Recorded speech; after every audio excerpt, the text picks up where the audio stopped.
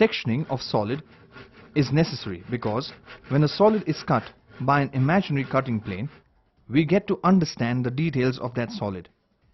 Section views shows internal part details as solid lines instead of hidden lines which will improve communication. Sectioning line indicates the surface that has been cut and makes it stand out clearly. Section lines usually consist of thin parallel lines drawn at an angle of 45 degrees to the principal edges or axis of the part. Hatching is the process of drawing section lines.